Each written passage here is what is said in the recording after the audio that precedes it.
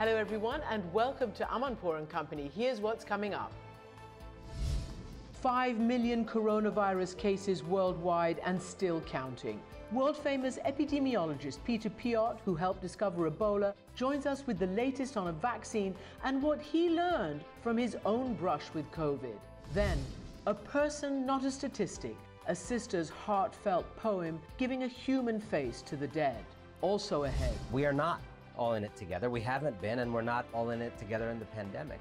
Writer Anand Giridharadas tells our Hari Srinivasan how this plague exposes inequality in America and what Congress can learn from mafia movies. Plus, I call myself the gangster gardener because to me, having knowledge is gangster. Getting our hands dirty to clean up our minds, the undeniable therapeutic that is nature and gardening.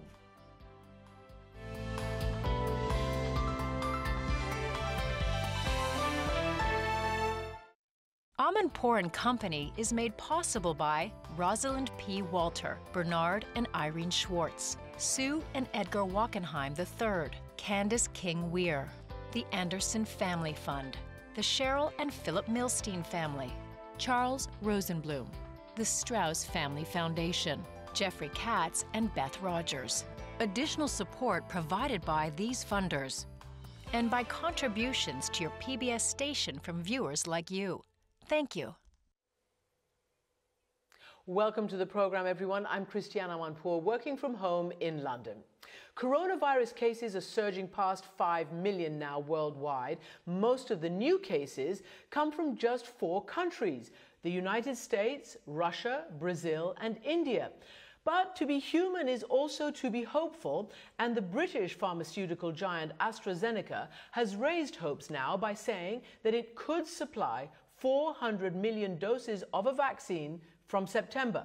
The company is working with Oxford University, which is one of a handful of places currently holding human trials. That September date is, of course, entirely dependent on those trial results and a vaccine being developed. For more on this, I'm joined now by one of the world's leading epidemiologists, Dr. Peter Piot. He co discovered Ebola back in 1976, and now, more than 40 years later, the virus has finally got him. That is the coronavirus, of course, and he's joining me now from his home in London. Um, Dr. Piot, really welcome back to our program.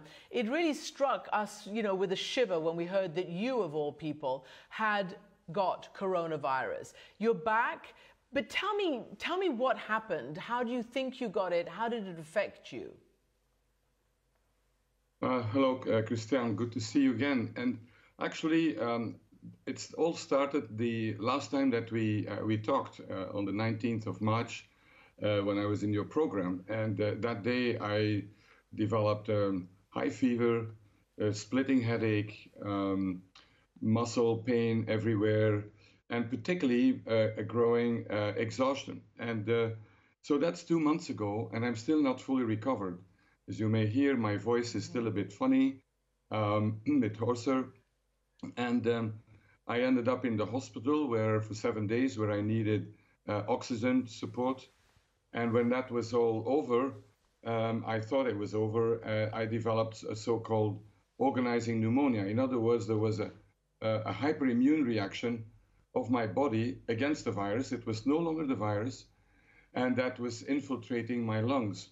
And uh, so I suspect there will be lots of people with uh, chronic morbidity, with sequelae. and, you know, it made me what, in my native language, Dutch, what we call an experienced expert. Up to now, for four decades, I've been fighting viruses from Ebola to, to HIV and now I thought, okay, a virus got me, and it was like being hit by a bus uh, where the virus gets into every single cell uh, of your body. And it shows also that um, COVID 19 is more than, you know, lots of people uh, get a bit of a flu and then 1% die. And then often they say, oh, it's only people over 70, and I'm 71, or people with underlying diseases. No, there's a lot in between, and a lot of people who um, you know, will suffer from lung affections, from uh, heart problems, uh, kidney problems, uh, and so on. So that is really uh, gave me a so, new insight. Yeah. Yeah, I was going to ask you. You, you, you, you, you got there before me. I was going to say, did you learn new stuff about COVID after experiencing it and seeing the after effects on yourself? And clearly, that seems to be the case. Yeah, absolutely. This is not like some people uh, say, oh, it's like influenza, it's like the flu.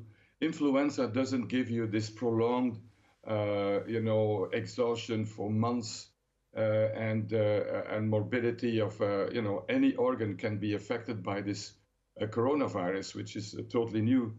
But also, you know, it makes a big difference whether you've experienced something yourself um, or when you're studying it or fighting it. I mean, I learned that from people living with HIV, who are often, um, you know, telling us uh, what works, what doesn't work, um, or women who survive breast cancer. So it's time that we are not only going to communicate about figures and so on, but also people's experience. But also, it made me, of course, even more determined to fight the virus. You know, the obvious question is how. I just want to read a little bit because you did write a very affecting um, article about your experience. Partly you said, I've devoted my life to fighting viruses and finally they get their revenge. For a week, I balanced between heaven and earth on the edge of what could have been the end. Um, you know, it, it, it really does sound terribly dramatic. And I just wondered whether you can just ex explain also, I don't know, the psychology, if you, were, if you had any space for that. What was it like being in hospital? We hear about the loneliness, the separation between those who are ill and, and their loved ones, and, and just the, the unique qualities of this particular disease. Yeah, first of all, uh, you're totally exhausted, so there is not much uh, how to say space in even in your brain for lots of things. Your world shrinks, and it shrinks like uh, you know thinking of my wife Heidi and my kids, and that was about it. Um, but also I was there with three other men who were suffering from the same problem, hardly any communication because we were completely exhausted. But it's the isolation. We couldn't get out of there. We could not receive visitors. But I was saying, okay, fortunately, we have technology today. There is the mobile phone, and we can even, you know, we can see uh, each other. Um, if this would have happened, let's say 30, 40 years ago, no cell phones, and uh, and even 10 years ago, very difficult to have, you know, uh, video communication. So that really helped. But it's the loneliness, and uh, fortunately, mm-hmm. I was not in, mm-hmm. you know, the uh, intensive care where people die just completely uh, on their own, and that's terrible. And quickly, Dr. Piot, well, not quickly, explain to us because you also say that you were just dreading the idea of a ventilator being, you know, intubated into you. Luckily, well, fortunately, you needed oxygen and not a ventilator. But you see, this is really interesting because ventilator, ventilator, ventilator has been the mantra since the beginning. But you were afraid that if you actually got it, you might die with a ventilator. Well, yeah, there's no doubt that ventilators, when they're needed, that they can save lives. But um, you know what is far more needed uh, is oxygen. Oxygen. That's what most people can, you know, get most people through their, uh, you know, very low oxygen saturation levels. And um, with ventilators, we should be very selective. So, uh, and I'm thinking particularly about uh, low-income countries. Uh, with the London School of Hygiene Tropical Medicine, we work a lot in Africa and in, in, in, in India, and they always say we need ventilators. Well, there's no oxygen, and I think with oxygen, we'll be able to, you know, to save far more lives uh, than with a few ventilators, uh, although both are needed. So we have to put these things in uh, in perspective. Yeah, so that's really important. And let me just repeat that I'm not just asking an eminent epidemiologist about his experience. You are the world's leading virologist, epidemiologist, and you and your school were responsible, along with Imperial College, for you know, the models that led to a late but nonetheless a lockdown here in Britain. You had these models that showed that if there wasn't a lockdown, there were going to be potentially hundreds of thousands of dead here and maybe more than a million in the United States. The lockdowns have prevented that. So I want to ask you, since you are Dr. Peter Piot, what you make of the latest in terms of vaccines. We've heard the President of the United States and now AstraZeneca. We've heard Moderna in the United States. Basically, the human trials are taking place. And I want to know from your perspective when you think that they will be available, the vaccines. Well, when you we talk, we hear a lot about uh, an exit strategy, you know, and uh, and that's really important. But the only real exit uh, should come from from science, And that's from a vaccine, which will protect us from becoming infected and from becoming from dying. There are about, uh, as far as I know, there are eight uh, candidate vaccines now in in clinical trials in people in so-called phase one, and about maybe 30 that are you know, will soon go into clinical trials. So there's a lot of activity going on, and um, the, this week there were some uh, there was some encouraging news um, that um, both the um, Moderna um, vaccine, candidate vaccine, which is based on injecting the genetic material, the messenger RNA, in the body to so that the body will produce its own vaccine, that they said that. Uh, in, um, in, in, mice, it prevents um, pneumonia, and also that in a small number of people, in eight people, it elicited um, so-called neutralizing antibodies. These are antibodies that neutralize, that mm-hmm. kill off the virus, and that is a um, one of the usual the requirements for a vaccine to work.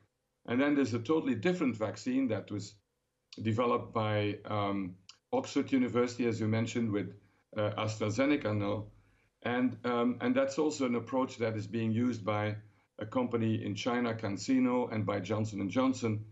And they have uh, demonstrated in, uh, in macaques, in monkeys, that um, the vaccine protects the monkeys from pneumonia. However, the, the, the monkeys also continue to excrete the virus, um, you know, um, from their from their noses. So um, we have to really go uh, an all out effort to uh, make sure that we can develop a vaccine. And um, there are many things that have to happen there. First of all, you have to demonstrate that it works, that it protects not only young people, but also the most vulnerable in society. In other words, older people. And uh, there's sometimes, um, you know, vaccines are less effective. So they have to demonstrate that. And the only way to find out is to do these large scale human trials. But secondly, there's also a safety issue. You mentioned that um, a promise of uh, producing a few hundred million vaccines, but the truth is that we need billions, not millions. Um, we need probably five, six billion uh, doses of this vaccine, and that means it has to be absolutely safe. Again, that requires quite some long, long uh, trials. Um, and thirdly, we need to manufacture billions of vaccines. That capacity at the moment is not necessarily there. So we shouldn't wait until we know whether a vaccine works or not. We already have to make sure that that manufacturing capacity is there. Um, and then lastly, we need to make sure once these vaccines are there, and when I talk about billions, uh, we need to make sure it's the nitty gritty. Are there uh, billions of small glass vials to put these vaccines in? Probably not. So they, we need to produce all that. And then lastly, we need to make sure that uh, everybody who needs it gets this vaccine and that it's not really limited to a, a few countries that produce these vaccines. From your experience, do you think that that will happen? That very important fact. China has said that it must, you know, it would help and support a people's vaccine. In other words, something that's available to everyone. Uh, others have said so. We don't know whether it's going to be available to everyone, regardless of their, you know, ability to pay for it. Well, there is something, a new word now that's coming up, and that's uh, vaccine nationalism, where countries will say, okay, the vaccine that's produced uh, in our country will go to our citizens. And I understand that. That's a concern for every government. But uh, vaccine development and manufacturing is a very, very restricted business in the sense that very few companies do it. And um, so most countries in the world do not produce any vaccines. So, and they also should have access. That's why some initiatives are really important. Um, for example, on the 1st of May, uh, Ursula von der Leyen, the president of the um, European Commission, together with a number of countries, uh, with the Gates Foundation, with the Wellcome Trust, with CEPI, with WHO, uh, announced a, an initiative and raised money for it already up to now to $8 billion to make sure that not only that these vaccines and therapeutics also and diagnostics are being um, developed, but also that they would become uh, available for those in need um, in various European countries, because that's her, uh, you know, her domain politically, but also in uh, poorer nations such as in Africa, which all will need to have access to this vaccine. So this is going to become, I think, a big political issue for the future. And where, if, if you're looking now at the future and you see this first wave in many countries is, is being wrangled right now, you see easing of lockdowns in many parts of the world. What do you predict for the next, I don't know, in the fall and then in the winter, and where? Where do you predict this virus will go? And what is the key now, without a vaccine, without the therapeutic, to a safe exit? Yeah, it is uh, predictable that we will see um, several waves of infections with these vaccines. The good news is that now that um, many countries, at least in Asia and in uh, Europe, uh, in some states in the US, that the number of uh, new infections and the number of deaths um, is going down. Um, that allows for a trade-off with, uh, you know, resuming societal and economic activity, and it will always be a trade-off. So that's a, that's a good news. However, um, we need to learn some lessons from uh, the initial responses um, because they will be very important for dealing with um, new outbreaks that will come. And the first and most important lesson is act early. When you look at Europe, for example, um, a country like Germany was very early on, uh, massively testing, acted very early on, and has um, you know, low number of infections and particularly low number of deaths. Other countries, including the UK, were a bit late. Um, and um, we'll need to apply the same thing, you know, when we need a massive surveillance, uh, by that I mean massive testing, to know where, uh, you know, in, in the fall, in, in, in winter, uh, whenever, uh, that new cases are appearing. And as soon as there is an increase, uh, we need to put in place uh, really serious measures, not necessarily a lockdown. Um, I think uh, if we are massively testing and we know where the epidemic is, uh, a new outbreak is, we can isolate people, we can look for contacts. Um, by that time, we may have some therapeutics that could be given to the contacts of people, so a kind of preventive measures, so-called prophylaxis. Um, so that all that will be important. So and then I think here technology is going to be extremely important. Not only testing, because testing is not available enough in many countries, and uh, but that's a matter of logistics of organizing it, but also having an army of uh, contact tracers, people who look for all those who have been in touch with the case, but then also technology, the apps that are now being um, you know, developed and, and been introduced in many countries that tell you whether you've been close to someone with, um, you know, COVID-19 infection.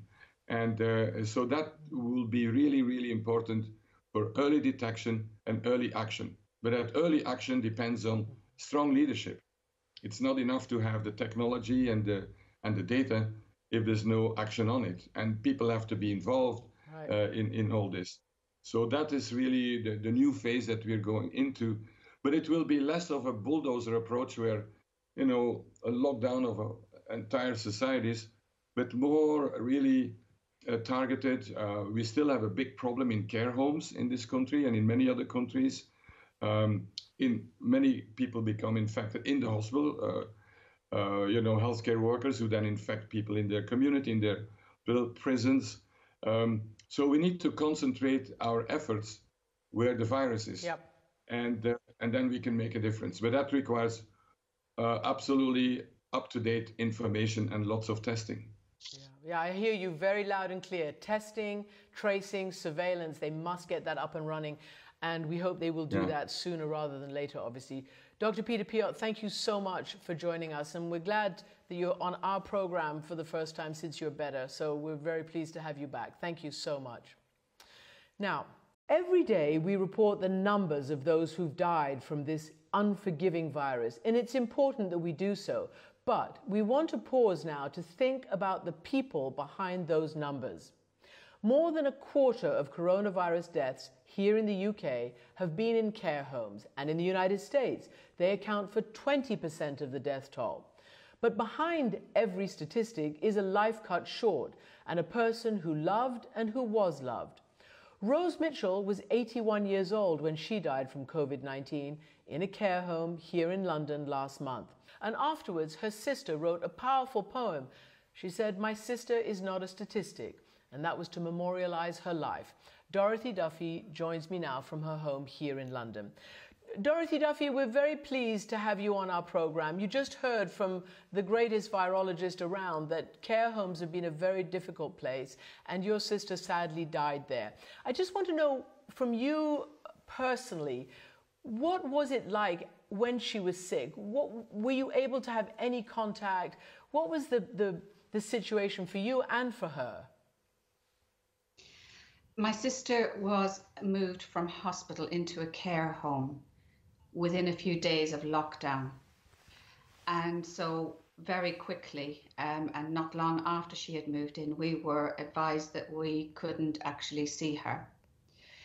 So, she was blind um, and she was becoming quite forgetful. So, trying to help her conceptualize what lockdown was, what COVID 19, it was like something from a science fiction novel for her to understand. So we were unable to see her in person. Her daughter Karen had filled her room with all her familiar clothing, her pictures, even though she couldn't see them. We wrote her emails and letters, and the care home staff, who were wonderful, read them out to her. So we were telling her about what was happening in our daily lives and how much we loved her, etc. But it was heartbreaking and heartrending not to be able to see her and to know that she couldn't fully comprehend why it was she wasn't able to see her children, especially, and her loved ones and her grandchildren. But we were in contact by phone and we were in contact via letters, which the, the staff read out. And one that her daughter wrote to her um, the care home manager, Dominic, uh, rang her and said, I've just read your letter to your mum. And she's just fallen into a lovely sleep. It was. It just reminded me that it was a bit well, like a bedtime story. Yeah, and it's so important because you're talking about the human, you know, the human contact and how so many of the carers were such humanitarians and really did try to do everything they could for people in their care. You've also, though, said, uh, you know, talking about it afterwards and writing your poem, you called the sort of daily, you know, focus on it a sort of like the daily deathometer, the statistics, you know, and you are a family who, you know, humanize those statistics. And you've said your poem to Rose, who was 81, you know, you reference throwaway lines, platitudes, the description of the dead as an older person with underlying health conditions.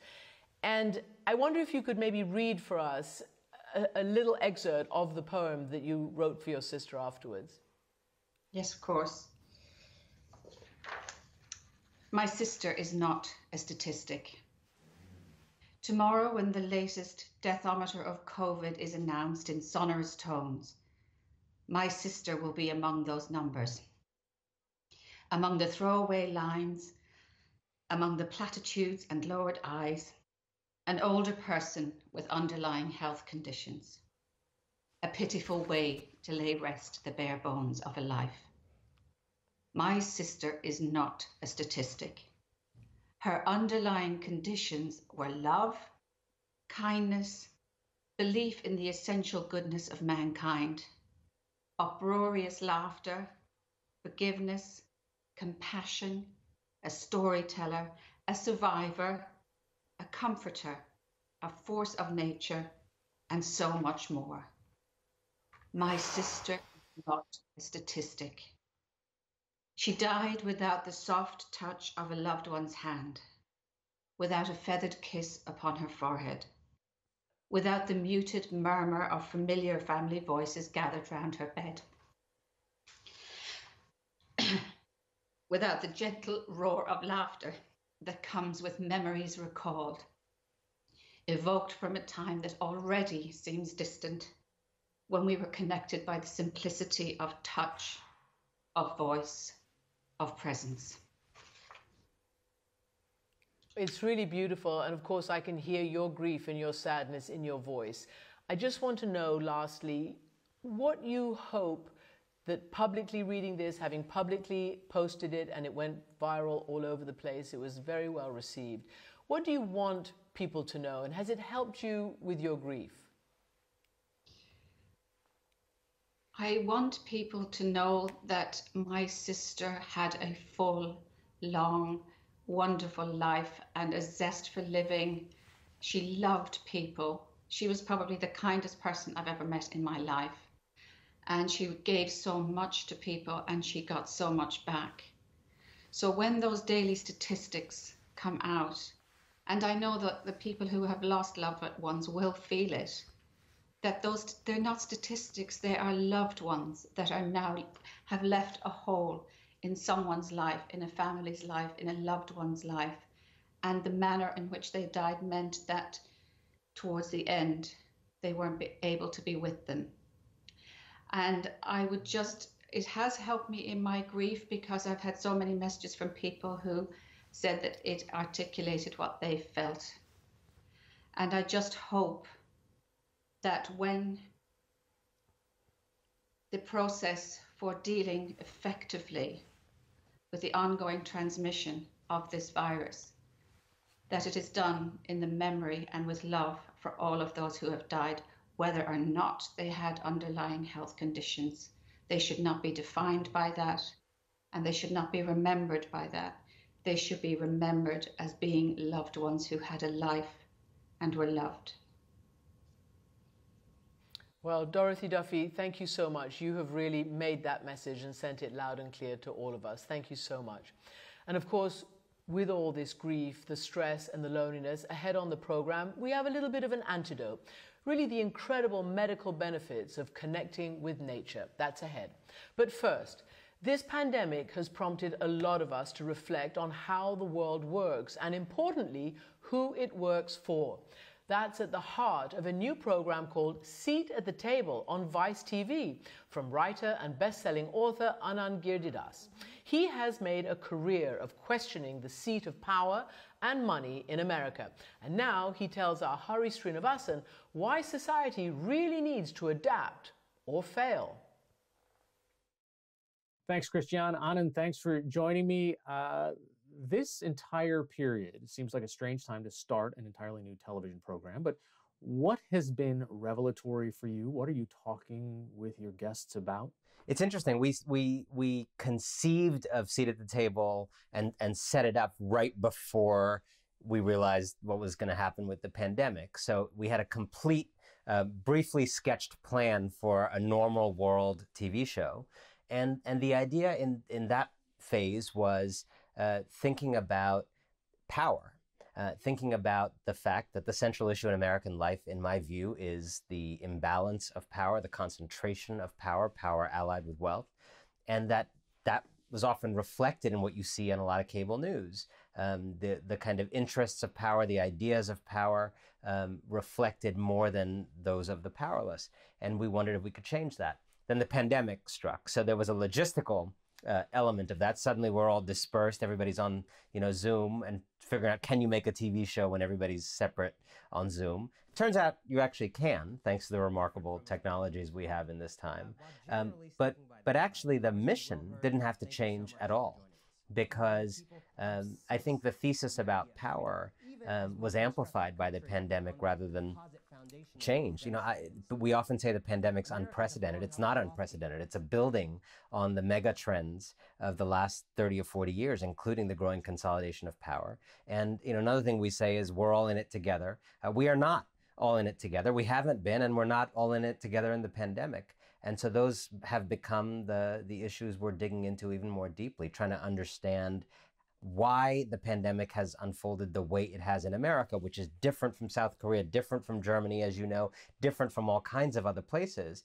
Um, the virus wasn't uh, a product of plutocracy and oligarchy in America, but the way in which the virus has affected us is very much a product of those social conditions. When you say we're not all in this together, you mean what? That we're all impacted differently? That that's how it's separate for us? In, in many ways. So, first of all, just in terms of who is dying from this plague. In many parts of this country, it is literally a black plague.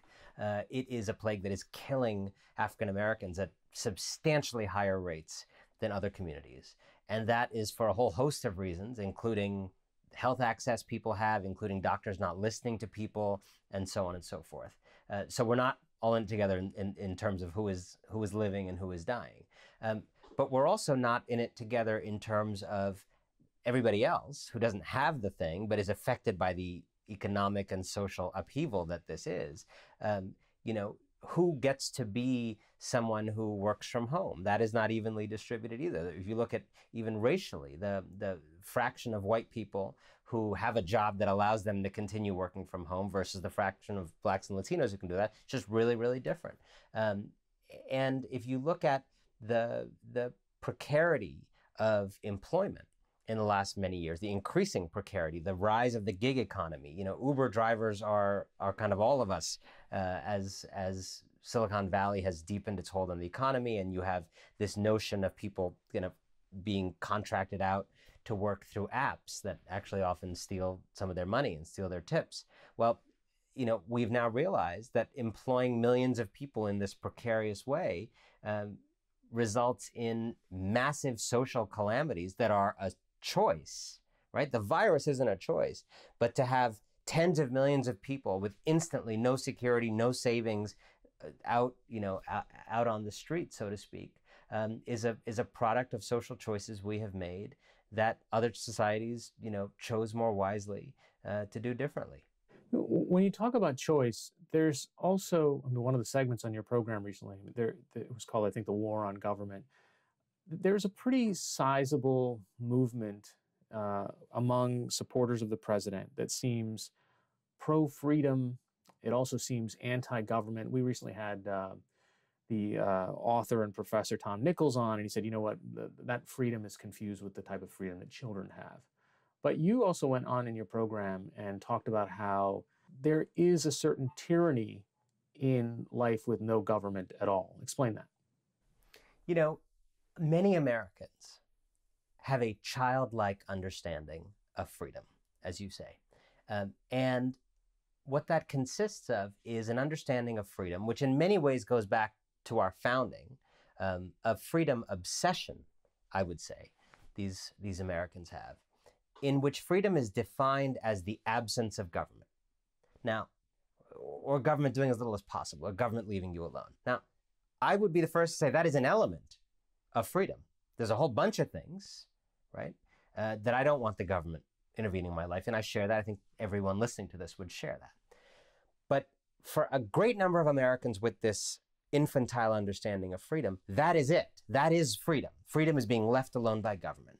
And it's being paranoid about government being way more interested in you than you are actually interesting, right? It, government's coming for your guns. Government's coming to, you know, regulate your food away. Government's coming to, you know, uh, tell you who who you can meet. Government's coming to manipulate you through, you know, its allies in the fake news. I mean, this kind of paranoid attitude. Government coming to get you. And the point we made on the segment was what this has done is obscure the way in which a large aspect of human freedom is actually not threatened by government, but by private actors, right? A bank screwing you over, speculating in ways that lead to you losing your home is also a threat to your freedom. Doesn't mean government's not a threat to your freedom, but the threat can also come from over there, right? A company dumping toxic chemicals into the creek where your kids play is also threatening your freedom and their freedom, but it's not government. And what we have often failed to understand as a culture, and certainly these millions of Americans who feel this way, is that when the threats actually come from private actors, your best bet against those kinds of threats are the government.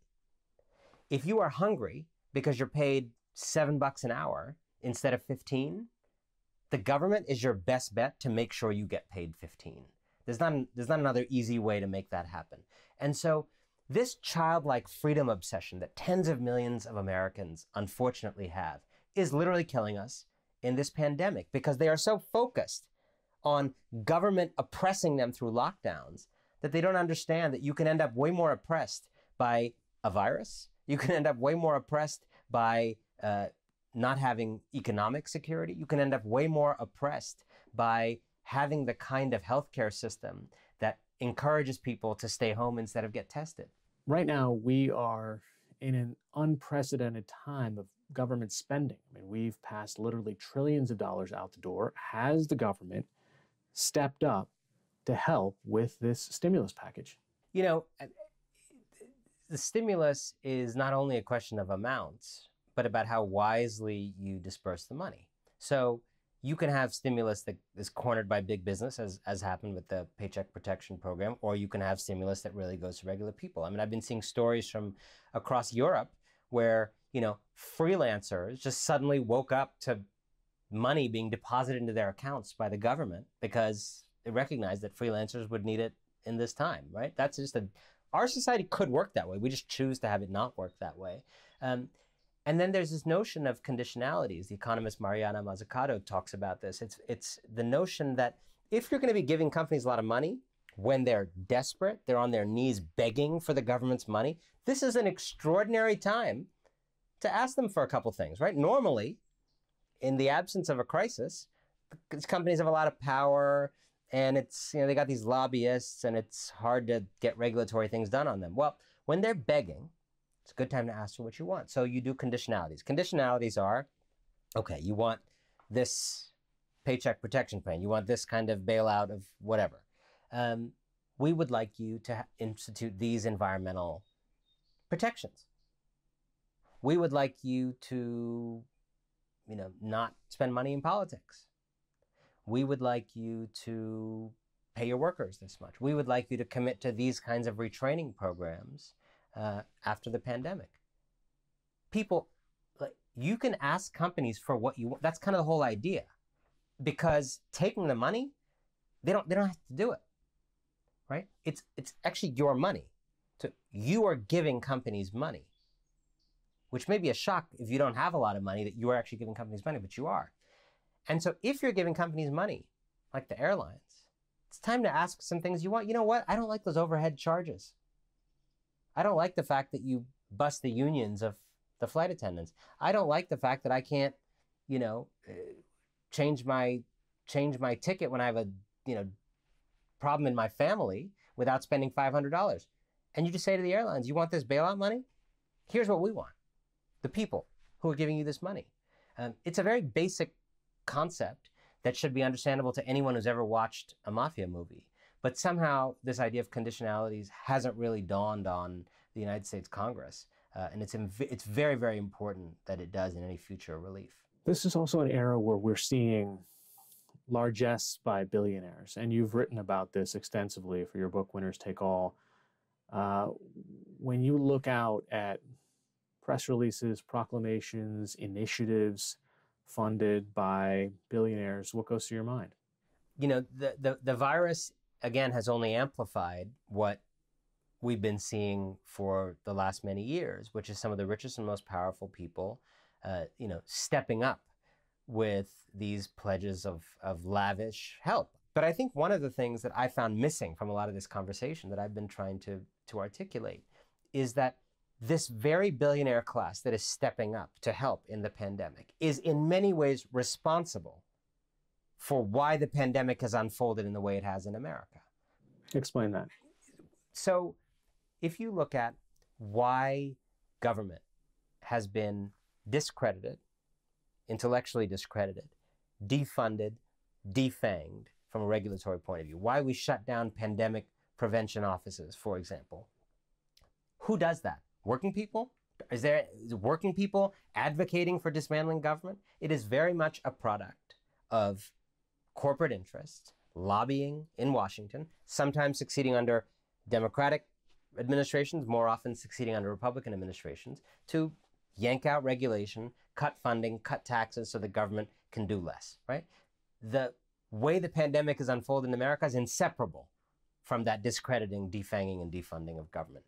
And so when I see the very same class of people stepping up, I see arsonists returning to the scene of a fire and putting on a costume and claiming to be firefighters. In many ways, what they are doing is trying to buy mercy on the cheap. So we don't actually fix this society in a way that reduces their power and makes us not so vulnerable the next time a pandemic like this or something else rolls around.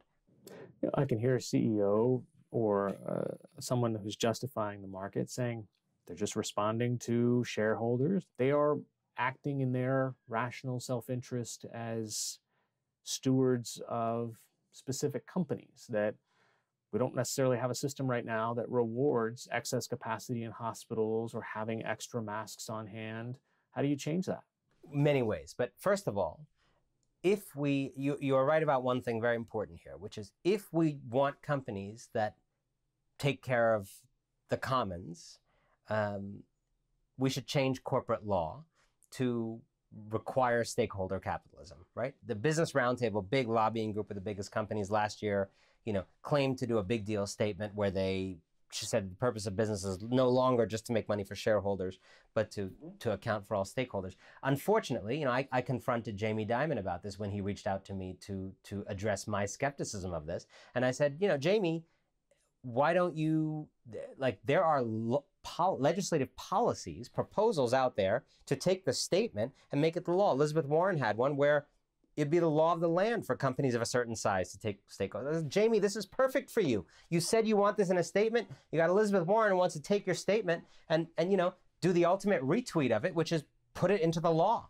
Oh no no no no no no no no no no that no no no we don't want to you know we wouldn't want to be a police force. These people are not serious. Jamie Dimon is not serious. There's not a seriousness around actually having this be how capitalism works. So they want the moral glow of voluntary virtue, but they don't actually want it to be a rule that companies have to you know uh, uh, can't hurt workers, hurt communities, hurt the planet in order to make money. So if you really want companies behaving that way, you got to change the law. Number two, there's a bunch of smaller regulations along the way that are not as big as just the underlying corporate law that actually um, help people make those decisions in better ways. You know, if you if you're paying people 15 or 20 bucks an hour um, as as your minimum, um, you know, you're just not going to have as many billionaires having as many billions, right? Uh, you're not going to have the kind of uh, outsized leverage that big companies have if you know you have way more working people with way more disposable income contributing to political campaigns as they have been in recent years. We have in every phase of american life designed a system that is almost uh, you know bespoke tailored to serve rich people's interests. And the wake up call is it doesn't have to be like this. So many other countries are not like this, and they still have capitalism. This is what's so shocking to Americans. Do you know that Germany has capitalism? Do you know that all the Scandinavian companies have capitalism? Countries have capitalism? They have great companies there, right? Do you know that those countries with universal health care, you talk to business people there, they love having universal health care. You know why? Because they don't have to pay for it. They're companies. They don't have to actually think about it. When they're starting a small business, they don't have to have this huge expense of paying for people, right? When they're trying to recruit people to their small businesses, they don't have to deal with this problem of people not wanting to leave a big company because they're going to lose their health care. It is actually better to live in a decent society. And when Americans start to wake up to that in greater numbers, it's going to be a great day. The new show is called Seat at the Table on Vice TV. Anand Giridharadas. Thanks so much for joining us. Thank you for having me. Anand keeping them honest there, that show is going to be must watch television. Now, and finally, during this pandemic, many of us are struggling, of course, in such uncertain times. Looking after our mental health is, of course, more important than ever now. Studies show that connecting with nature can lift our spirits and much more, something our next, next guests know all about. Sue Stuart-Smith is a psychiatrist and she's an author. She's just written The Well Gardened Mind, which will be released in the United States July 7th. It's already out here in the UK. And also joining us, Ron Finley, aka the Gangster Gardener. His TED Talk has been watched by millions. He's inspired dozens of community gardens around Los Angeles where he lives, and he's also given a masterclass, and they both join me now. Um, let me start with you, Sue Stuart-Smith, The Well Gardened Mind. It, it, it's an amazing book to come out right now when everybody is either baking bread or trying as much as they can to connect in some way with nature. Not everybody has that Yeah. opportunity. So I just want to ask you some of the real sort of touchstones and, and analysis and, and science that you've found writing this book Yeah. about what it can do to people's mental health. Well, it's it's no surprise really that people have been turning to nature in such a big way in response to this crisis. And if we look at history, um, it's it's it's a recurring theme. You know, up during wars, following wars, following natural disasters, we need to turn back to the land, and nature's powers of restoration and natural beauty is very sustaining to us. So so it's it's something that's happened before many many times over. Um, and as you mentioned, the pandemic has opened up the divide, the, the social economic divide between those who have gardens and those who don't. Because for people who have them, they've been able to appreciate their gardens more than ever before. Um, and I hope that in some measure that might lead to an understanding of how restorative uh, gardens can be for mental health and um, you know lead to Um, things like horticultural therapy being taken a bit more seriously. Yeah, well, let, me, let me just ask Ron because I want to get back to the psychology and the statistics with you in a second, Yeah. Sue. But I want to ask Ron, uh, who's joining us now from Los Angeles. Um, Ron, you call yourself the gangster gardener, and it's uh, you know you've done something in LA that probably probably nobody did. You have turned verges of highways and various land into thriving gardens. Why did you decide to do this? What sort of led you to that place? Real simple beauty in beauty out and how how are you? Um, because people think health is just what you put into your mouth and it's not. Health is your environment. Health is what you see every day. Health is can you smell beauty? Can you look at beauty every day? So that's what i wanted to do. I wanted to beautify my community And no, it wasn't just beauty, there was it? Because I mean, I, I think you know, you talk about many people talk about a food desert in LA, but you talk a little bit about you know a, a, a food prison, and you're trying to get people to also understand about, as you say, beauty in, beauty out, but what the quality of what you put into your body. Well, it, it, it all goes together. It's just like, you know, most people don't know the single most important thing to your life. They will tell you their family, their daughter, the single most important thing to your life is air, oxygen. But nobody seems to know that because we don't value it. So what I'm, what it's, you, it's not a, it's a shotgun blast. It's not a single bullet. You have to affect air, a lot of things at the same time. And yes, the health disparities are in my communities, uh, in, in black, brown, red communities across the planet are a lot of times worse than they are in um, other communities with other persuasions, and that's by design. So I'm a designer, so I'm trying to change the design. You shouldn't have to be well heeled to eat healthy food, and that that that's why I started this. Yeah. I mean, the liquor stores are by design. The Yeah. fast food Yeah. places are by design. Why aren't they in these other affluent communities like that? You know, and, and it's constantly uh, making us sick. Uh, talking about sick, Sue, you are a psychiatrist, and you, for part for your book and and basically your research over the years, you went to Rikers Island Prison in New York, where there, I think there's something like 8,000 inmates there. What did you discover about those who could garden and those who couldn't? Just what did you discover about some of the key stats that everybody worries about about prisoners? You know, when they're released, reoffending rates and, and, and the like. Well, the the, um, the program in Rikers Island is run by the Hort, the Horticultural Society of New York, and the what their program shows is that uh, the the prisoners who complete their program and who go on and to the community program called the Green Team have a much lower level of reoffending.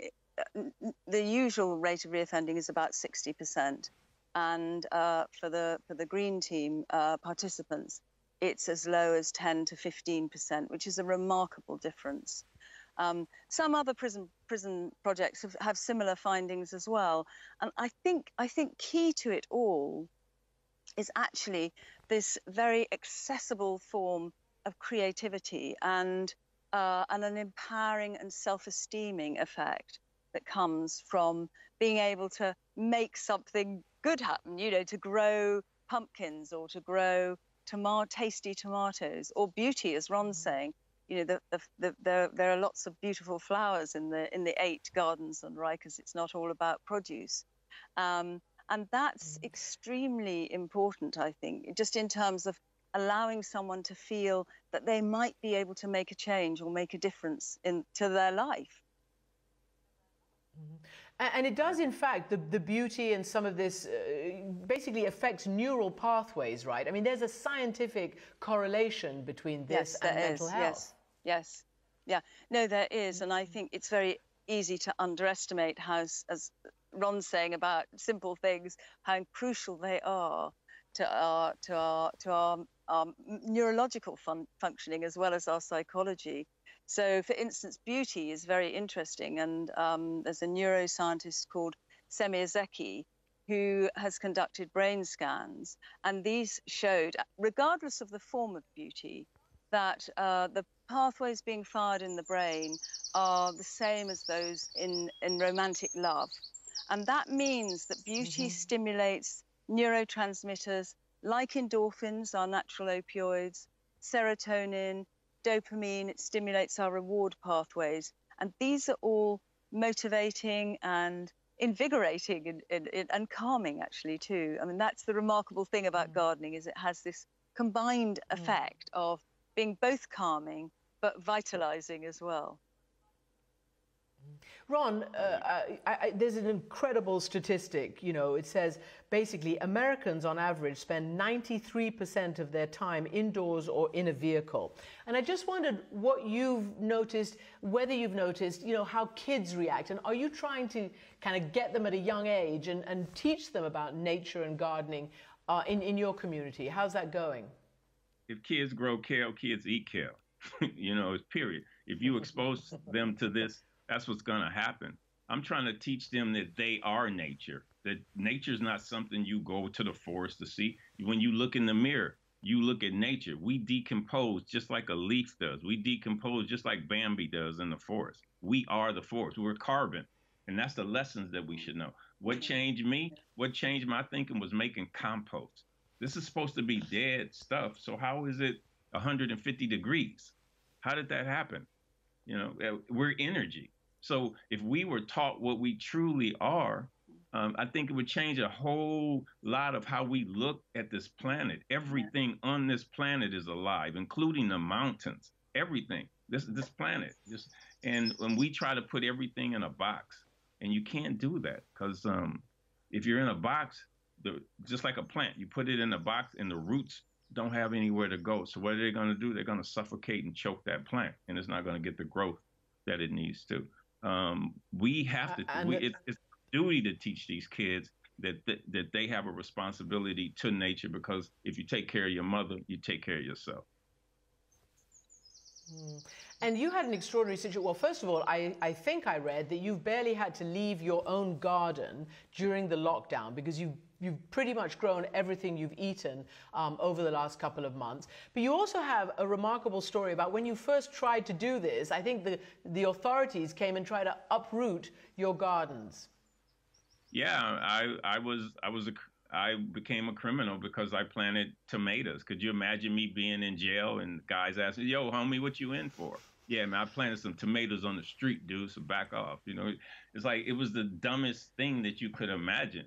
And fortunately, I was able to get that law reversed. So now in the whole city of Los Angeles, you can plant veg edibles on your parkway. My thing is they need to advocate for it. They need to tell people that, and they need to have a team to show people how to do that. We should. No one should have to fight for food.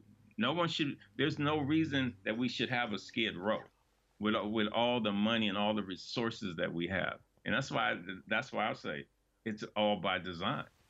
And we can we're designers. We can change these designs and make these these communities where they're healthy for everybody everybody you know all the kids. So we do. We have to get and, to the in, kids. yeah. Yeah, and we, we understand that kids also, when they go to these forest schools, they get to kind of learn and discover on their own outdoors, find solutions. But finally, to you, Uh, Sue, you've written in The Well Garden Mind, in this era of virtual worlds and fake facts, mm, the garden mm, brings mm, us mm, back to reality. It's exactly the kind of realities that Ron is talking about. You know, we, we have to engage with the natural life cycle. We, we form a relationship, a very close relationship. Gardening is an intimate um, relationship. And um, so we, we, we, we engage in that in a way that becomes uh, about give and take, actually. I think it's that recognition of um, how we need to care for the planet, to care for ourselves at that basic level. Indeed, and boy, if we haven't had a signal now, yeah, to care for the planet. Um, this yeah. is it. Sue and Ron, thank you yeah. so much for joining us. That, that's wonderful. And that's it for our program tonight. Remember, you can follow me and the show on Twitter. Thank you for watching Amanpour and Company on PBS, and join us again tomorrow night.